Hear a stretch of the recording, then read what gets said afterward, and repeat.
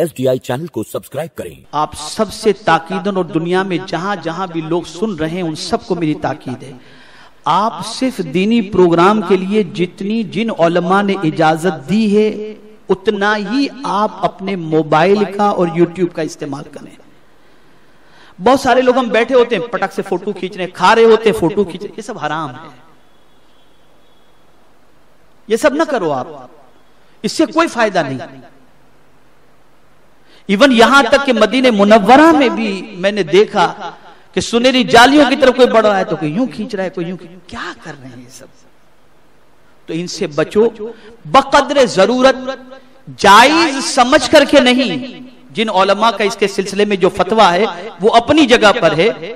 لیکن ہم صرف دین کے فروغ کے سلسلے میں اس کا استعمال بقدر ضرورت کریں۔ اور یوٹیوب پر آپ جب جائیں گے تو اچھی چیزوں کے ساتھ بہت ساری گندی چیزیں بھی آتی ہیں۔ خدا کے لیے، اس کے پیارے حبیب صلی اللہ علیہ وسلم کے لیے آپ حرام سے اپنی نگاہوں کو بچاؤ۔